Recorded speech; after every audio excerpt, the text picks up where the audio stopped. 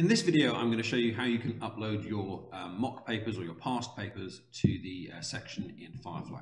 So once you've logged into Firefly, and if you're not sure how to do that, then see the video called How to Log into Firefly. You want to come to the resources section at the top. You want to click on Senior, and you'll see there is a section called Past Papers. Once you go in there, you should see above me here that you've got sections for A-level and GCSE. And whichever one you go into, you should see a list of all of the subjects there. The, the list will be down the side and it will also be um, in the center here. So being a politics teacher, I am going to go into the politics section of my A-level. Now, if you wished to, you could create sub-pages here for different units or different um, parts of your course, um, but I'm just going to put a load of papers into this page that students can get to. So I'm going to click Edit Page, which is down the bottom right-hand side. If this button isn't here um, for any reason, then um, speak to me, um, but it should be there because you're a teacher, so you have permission to edit these things.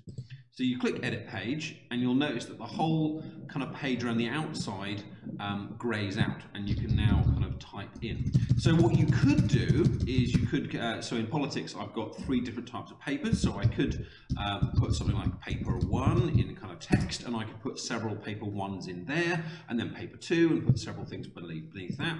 Could maybe make it look a little prettier, um, and then stick paper ones beneath that, or you can just do it, what I'm going to do here, and just stick a load of documents in there. And what I'm going to do is I'm going to go to a folder where I have um, got lots of my uh, previous politics papers.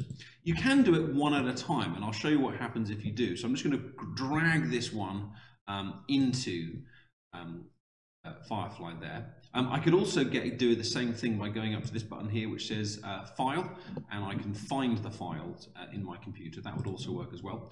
And you can see if I do that the paper then appears there and uh, once I click Done the students would be able to scroll up and down um, in that paper which works uh, which works very very nicely and the students can also download that paper by um, clicking on uh, that little bit at the bottom there.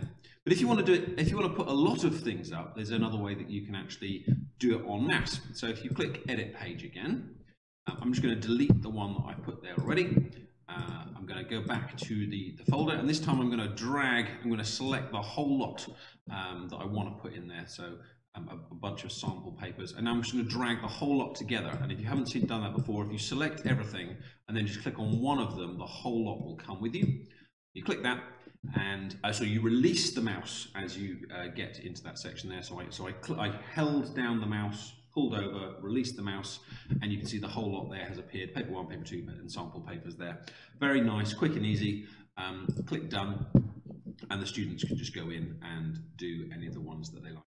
There are more, you can make it look prettier, there are other ways of doing it, um, but if you just want to quick and easily upload a bunch of um, papers to Firefly, then that's how you do it. Hope that was useful. Thanks very much.